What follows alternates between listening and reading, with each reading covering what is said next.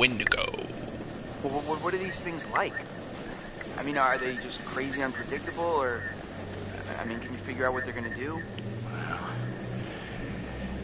The Wendy. Wendy to go? Anybody want some Wendy to go? Wendy's to go? Oh my god, that scared me again. What in the hell?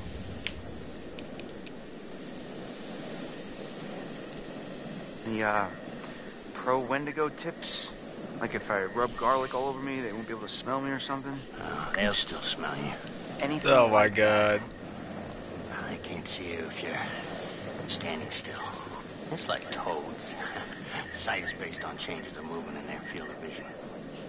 So if I don't move, I, I'm, I'm basically invisible. Well, I wouldn't recommend Ooh, that was a death.